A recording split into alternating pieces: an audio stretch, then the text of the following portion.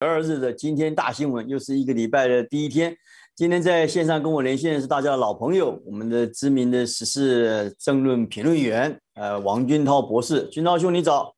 哎，赵平兄好，大家好，导播好。呃，谢谢军涛兄再次跟我们连线了。这个一个礼拜礼拜一开始，我想在大陆在亚亚洲的朋友呢是晚安，那欧洲的朋友是下午好。我们今天一开始来，想关心一下整个中国企业在海外发展的版图到底碰到了什么样的问题？呃，中国国家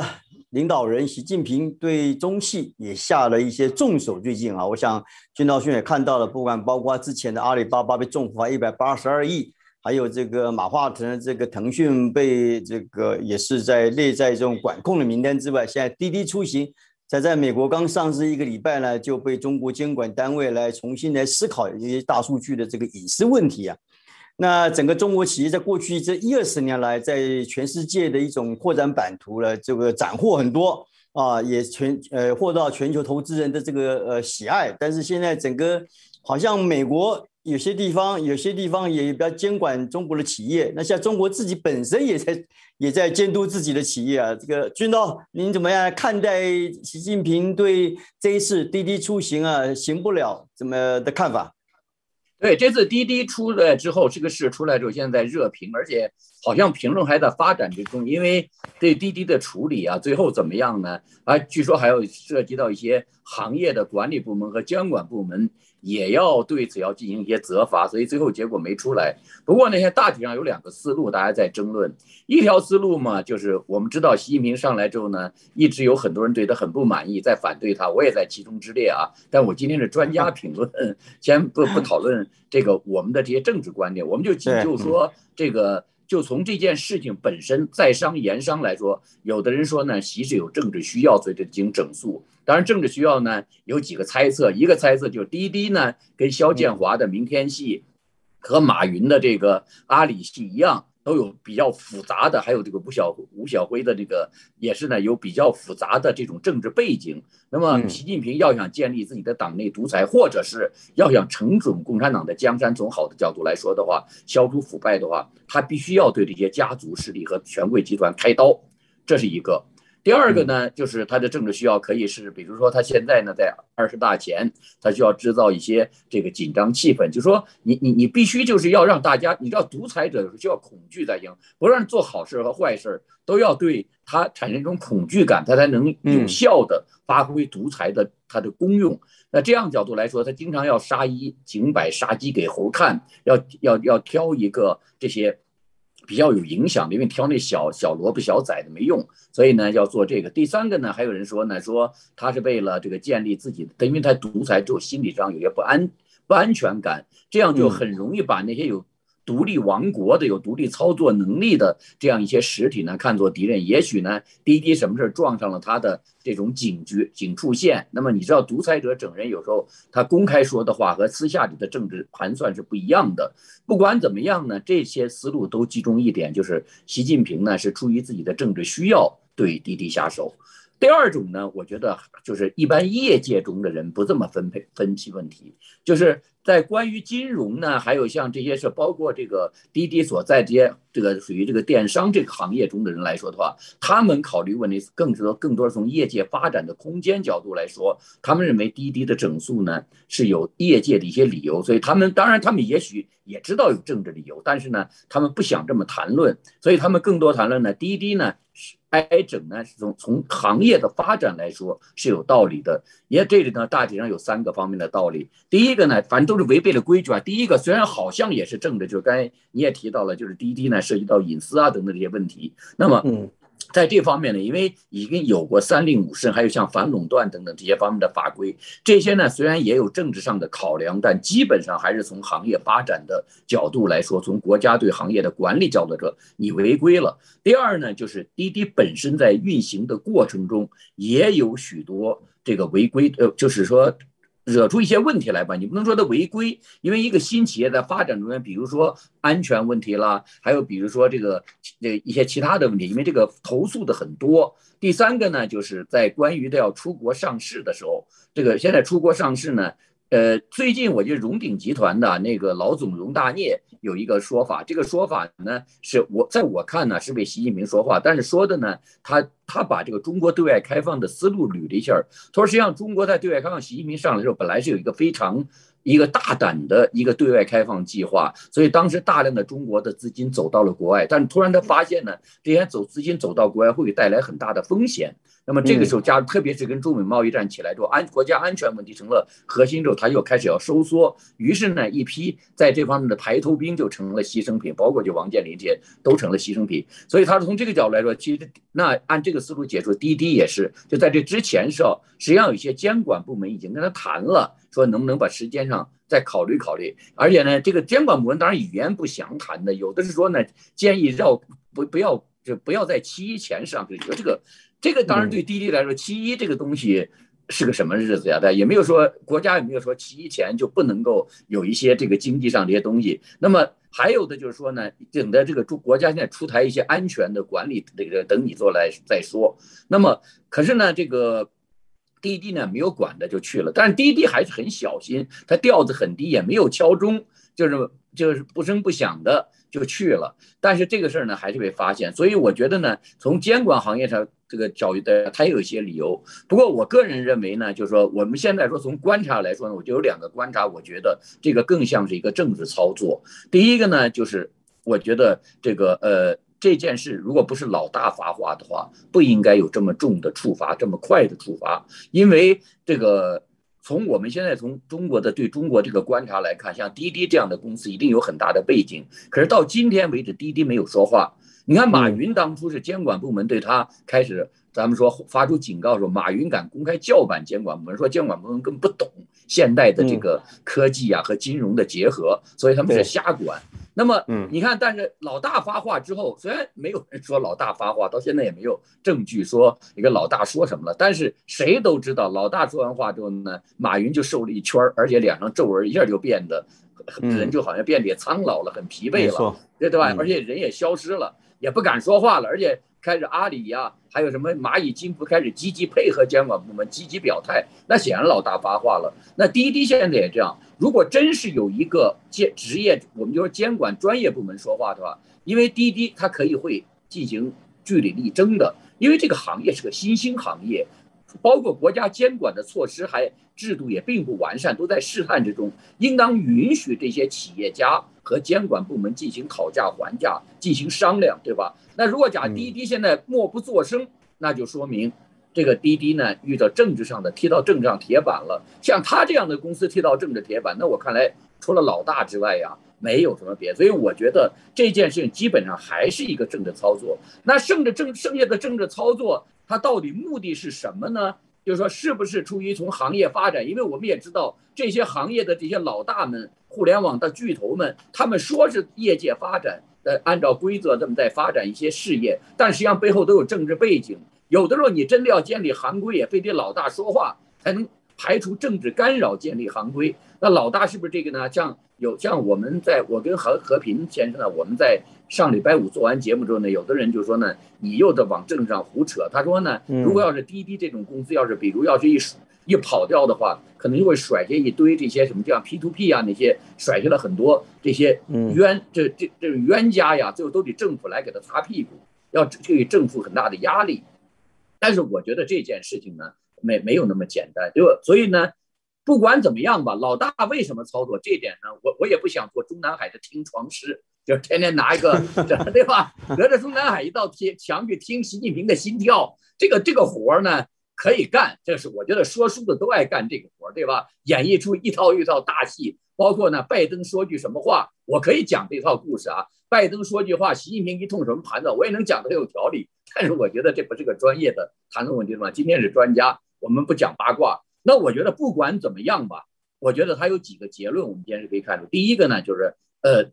这个其实习近平这样做呀，即使出于行业发展，要用排除政治干扰。他这么做不利于行业的发育和正常的监督和管理，因为从我们看西方的市场啊，我我我们在前面的讨论，我反复说过，习近平以为把香港的金融市场给掐掉之后，可以在深圳或者在上海再打造出来一个类似于的那他做不到，因为你看国际上吧，为什么伦敦英国早就衰落了，可是伦敦还是能跟纽约并驾齐驱，而香港呢，作为一个新兴的地带，也能成为世界三大金融市场之一。日本和德国、欧洲都出不来呢，原因就在于自由，也在于法治保障的自由，就在于限制政府的权利和政治干预。不管政治有多少需要，不管华尔街造成多大的灾难。这个事情啊，要依法进行，按法律程序进行，这样资金才觉得有保障，对吧？嗯。那么，就因为这些大资本的运作呀，除了投机性之外，就是有利于国际民生发展的呢，它都是需要长线投资，需要几十年、三十年、五十年，要跨越一代、两代领导人这种稳定预期性，他们才能做到。所以，这个你这样的一个政治干预，一下就不许对方讲话的这种干预。那个是显然是不利于发育这个市场。那么特别我们刚才讲的说，像滴滴啊、马云这些东西像都是新兴的产业。马云说这话不是没有道理。这个问题其实我我我自己也看了一些东西，我也没有完全想清楚。因为当金融和互联网结合起来之后，传统的金融确实不合适。你要是一定按传统方式管的，互联网就会受很大的限制。因为互联网，比如咱们就说像出租车吧，出租车各国都有。严格的管理规定，但是，一旦像 Uber、滴滴这种发展起来之后，它就是可能会出现一些，就是可能一些违法操作就可以漂白了。那么，就是可能会给一些，对吧？像这样的问题怎么管？但这个问题得要由业主和监管部门博弈，要反复的讨价还价、商讨，可能还是要允许犯很多错误，允许出现一些灾难性的事故才可以。就像我们讲说说，你要说因为这个人可能犯男女关系，会可能出阳。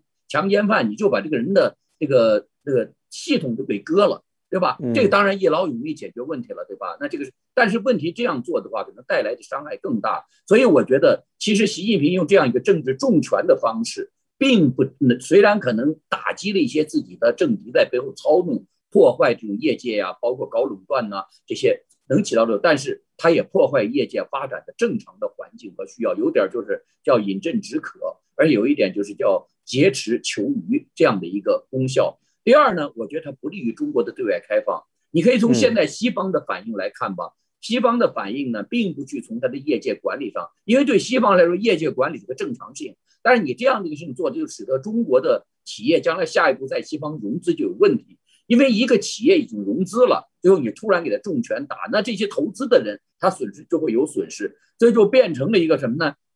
中国在帮着。骗这个拜登在切割，对吧？现在美国的政治家呀，费尽了口舌说服盟国，说服自己人，说服自己的企业家，要跟中国呢，在一些有战略关联的事关两国竞争的问题上，能够这个听从美国政府的协调。但是问题是呢，那些人呢？不愿意，对吧？谁愿意这个叼着一根骨头了，已经吃了一半，都在给它吐出来？你要给也得吐，也得给我一个过程吧？哎，我觉得习老大呢就是在做这件事儿。有时候我觉得吧，川普帮着习老大反腐，习老大自己呢也在帮着川普，就或者帮着拜登，就是我们川普和拜登，就因为拜登 这方面基本上寄生下来的，他们在互相帮忙，就是在做一件事儿，就是中美两国先要脱钩。那第三个，我觉得呢，习近平这件事儿呢。就特别他们强调关于这个隐私的这个事儿的时候，国家要进安全审查，也就坐实了美国另一个指控，就中国这些大公司啊，在涉及到中国国家安全需要的时候是要配合政府的。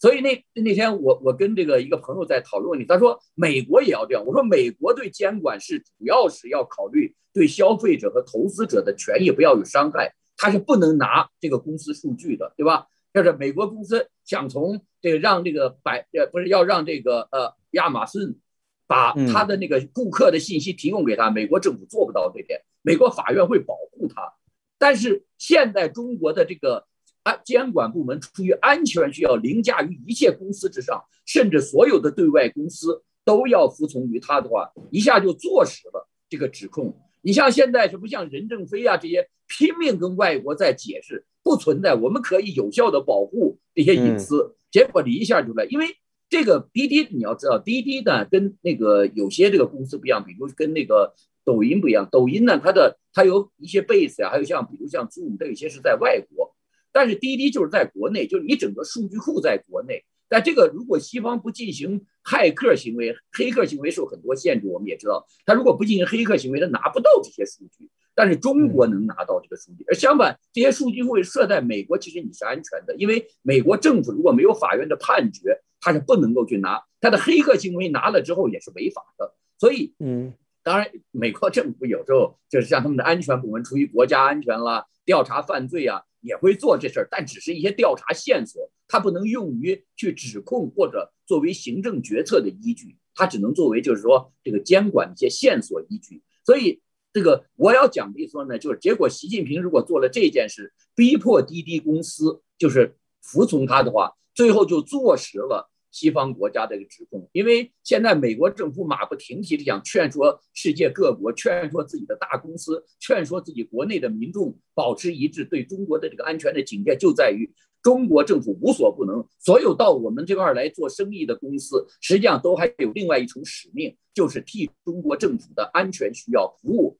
那这些公司拼命在解释，不是的，我们会遵守你们国家的法律，我们会像你们一样保护顾客隐私。但是习近平的这样的做法，一下就坐实这个指控。所以我个人觉得呢，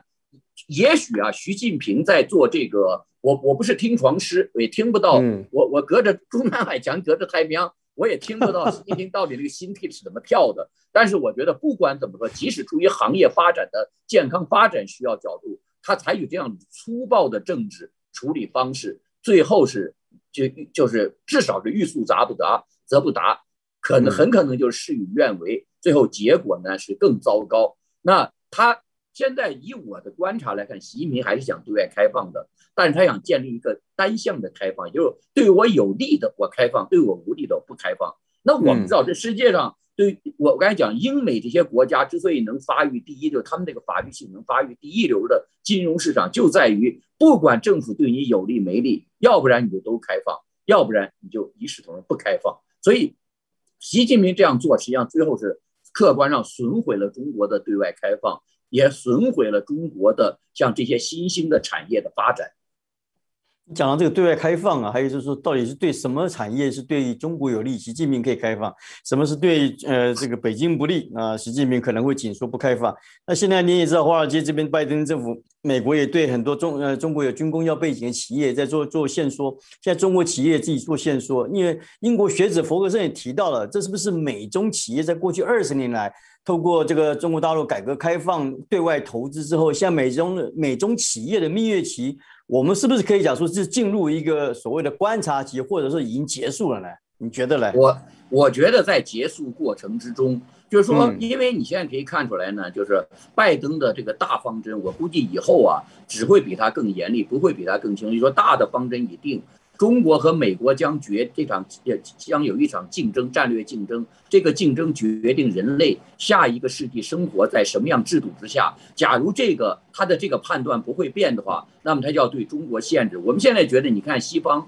对于中国的这些制裁性的东西啊，就是包括对这些企业实体清单呢，大体上有三类考量。第一类考量呢，就属于说你们参与的政治迫害，比如像新疆的这个棉花，还有你们参与的像这个这个像这些。什么这个香港啊等等这些，这是惩罚性的这个措施。第二类呢，我觉得就属于是那种，就是你们协助了中国的军工企业的发展，还有协助了中国对危及到美国国家利益或者全球安全的这样一些潜有潜在危险的。第三类呢，我觉得其实就是下一步，其实最集中要提出来的，就是要限制中国的发展。就最说白了吧，就是在科技领域，在未来的。这个影响人类那个戴奇是列举过，他列举了十个领域，就是说在未来的这些领域中间，可能会影响了中美两国谁胜谁负的这个竞争中呢，美国要限制，那就一大批企业呢，我觉得也许他是像他这个实上实体清单的名义是因为军工啊，也许是因为什么奴工啊，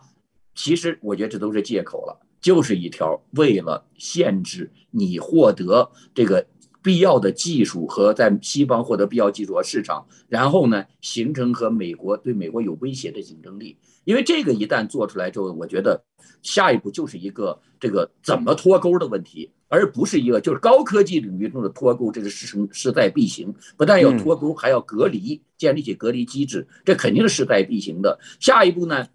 你说像刚才黄先生讲到试探呀，什么都是在试探怎么脱钩。都是要试探出一个多长时间，因为这里签美国政府啊，他不能一言一家说了算，他跟盟盟国是要协商的，跟自己的国家企业呢还要博弈，还要在他的自己的司法架构中博弈，不是他说了算，他不像习老大对吧？呃，拍他只要一拍桌子一震怒摔个杯子，大家都听他的。那么但是呢，他要做的事情必须就是要通过协商和法庭博弈的方式，所以对他来说，他的试探过程其实。是一个，他有一个角色怎么落地，不管怎么落地，他是直接摔到地下去，还是扔一个往高的扔让它掉下来，或者扔一个弧线型，最后呢，只要这个大政方针确定，只要以后历届的美国政府，因为国会这点可以很清楚是越来越强硬，但只要美国行政当局都相信这样一个判断的话，那我觉得就是落地的时间和怎么落地的问题。就是肯定是脱钩是必然的，只像那些什么垃圾产业，就是什么九毛酒店卖那些东西，我估计他不会脱钩，他还继续可能会欢迎。但是假如威胁到美国，比如像医疗啊等等这些，就是你要能卡美国脖子的时候，美国可能也不会让你再垄断了，就说也不会说谁便宜我就到这，他自己国内会有一批企业贴赔钱。补贴也要生产，还有一批要放到那些他放心的这些国家中间。那至少，如果他不能操纵的话，至少是他已经证明多少年呢？还有在未来可以预期的范时间内，是他的铁杆盟友的地方，放那儿生产，不能再交给中国的手里头。那很多观众在问啊，那那到底现在这些中国企业在海外的名气还能不能够再投资呢？但我觉得，其实这些对外开放的排头兵民是最尴尬的。就是八十年代的时候，中国曾经评过十大企业家。后来万瑞南先生当时名列其榜。后来你知道万瑞南先生后来六四之后出逃了，出逃之后在法国他是第一任的这个民政的秘书长。后来我出国，我问他，就是那个你你出国之后，我在见他已经在旧金山的一个养老院。我那个我说你你后悔吗？他说我有什么后悔呢？十大企业家八个都在监狱或者坐过牢。对吧？我在这儿还是很安全的。也就是说，中国在改革开放中的排头兵啊是非常非常危险的，这个高风险，它的回报其实也很少。那个时候我记得谁啊？是多少年前是冯仑先生跟我说过，他说呢，中国的那些民营企业家能熬出来的呀，每十年有只有百分之七的存活率，就是那个比较成规模的，那就是二十年只有万分之四十九，三十年下来，你知道才有多少人呢？对吧？所以你就知道，其实成为大企业家在中国本身就是个高危职业。那现在就是说，对这些企业家来说，他们本来就很尴尬，又加上像中美贸易战，本来呢，这个他们往外走的时候，中美两国呢，说实话能成功的话，都还欢迎他们做这件事儿。现在中国呢，出于国家安全，或者呢，现在觉得他们好像是不是想外逃，以就是越来越。不不认为他们是为了中国去开疆拓土，用另外一种方式替中国人去打拼国际天下、争抢国际空间，而认为他们是呢想卷款外逃、想出卖国家利益。像当因为把安全放到了优先于开放的时候，他就会这么去想问题。那么他们就已经很尴尬。现在西方呢又说呢，你们现在其实替中国在做排头兵，在怎么就像这个呃第五纵队，实际上在往我们这儿渗透。但是你说。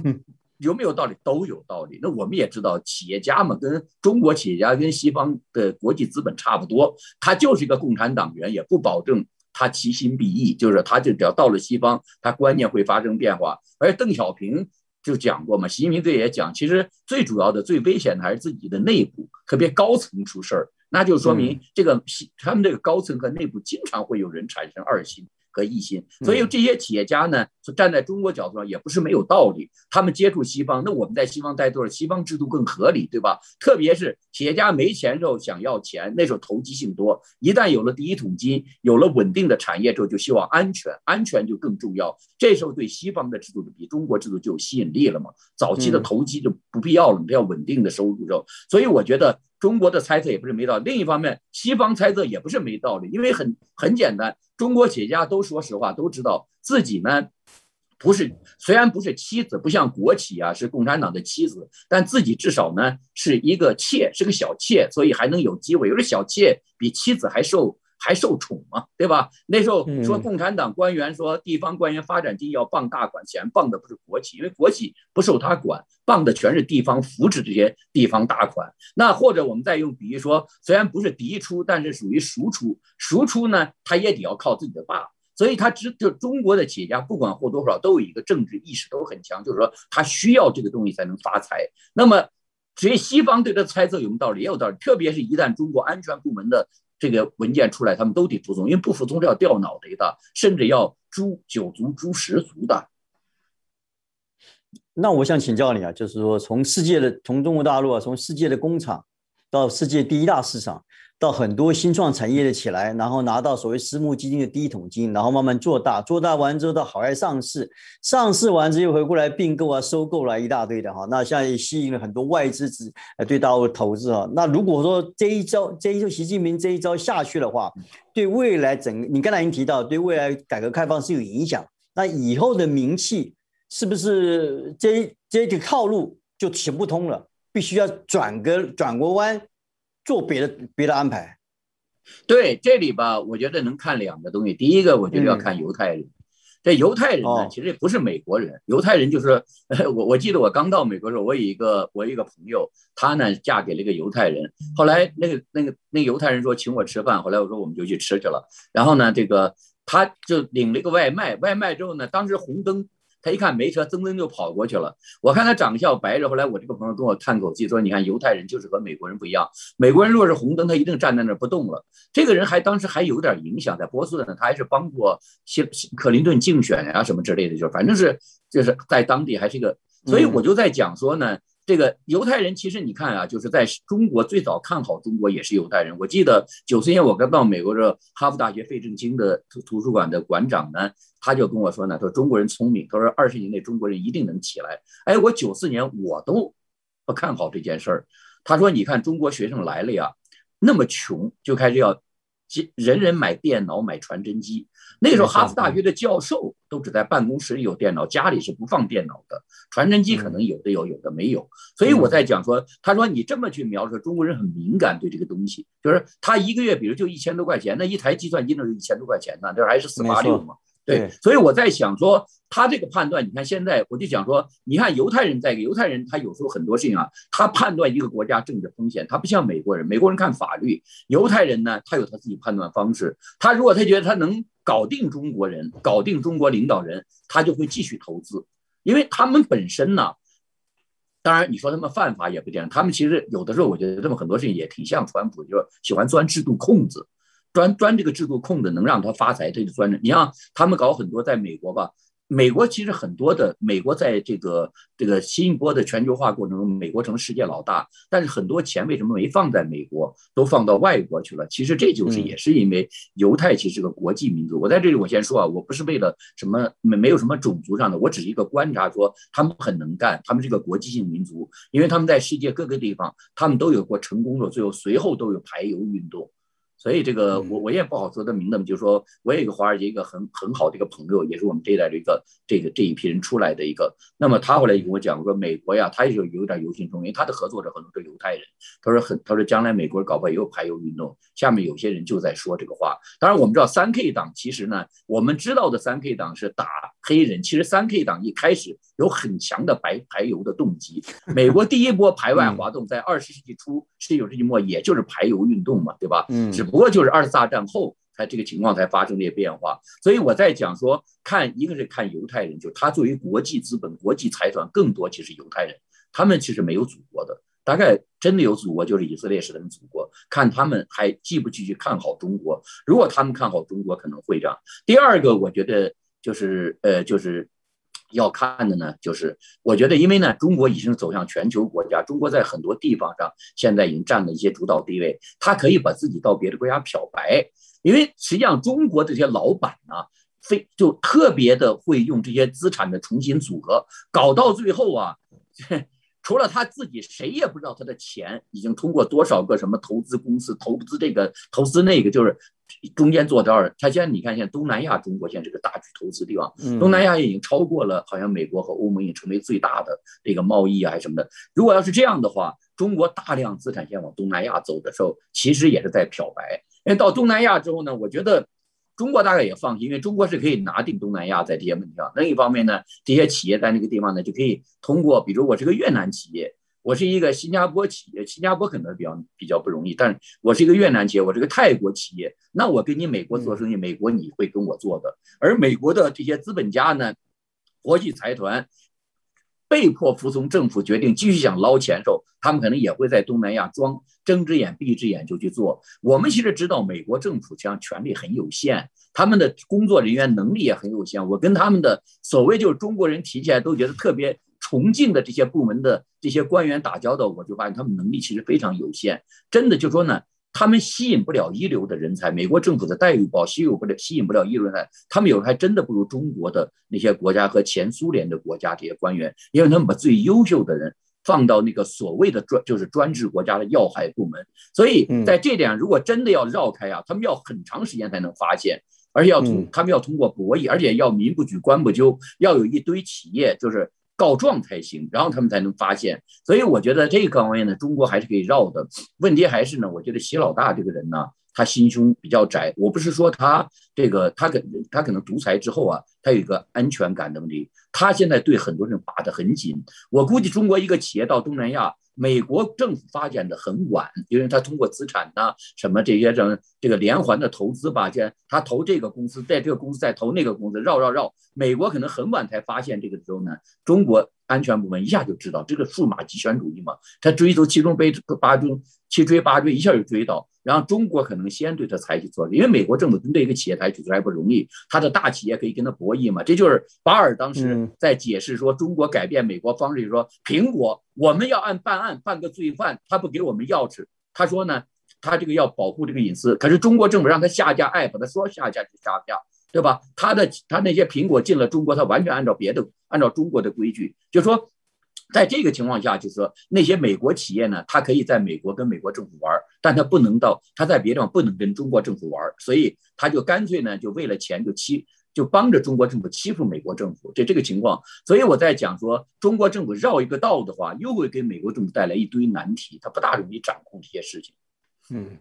好，谢谢金涛的这个讨论呢。这个看看未来这个中国名气到底呃受阻之后啊，它未来在国际间呃的募款私募。的筹集资金呢，到底会不会受到困扰？还有一些这个习近平的这个下重手，是不是成为英国学者福克森提到说建立一个警察国家，建立所谓的集集权呃绝对的权利啊？我们可以来观察。呢到底滴滴出行现在在美股一直持续在啊持续在下跌当中，也影响了阿里巴巴其他的这个嗯大陆名气在海外的市场的这个股价，所以很多股民很关心啊，大家都很关心。我们会继续在今天大新闻来讨论了。接下来跟金道讨论一下这坎贝尔，现在坎贝尔最近。